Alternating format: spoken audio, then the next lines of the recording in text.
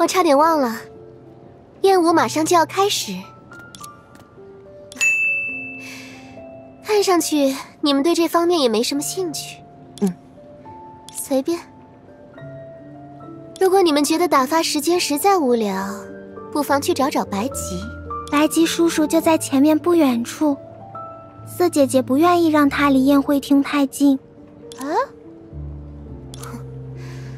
他这几日都在弹些没品位的曲子，我就让他离我远一点，别污染了我的耳朵。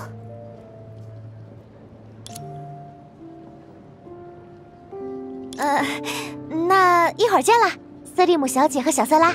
一会儿见，希娜姐姐，还有大家。哼，灵感，这个嘛。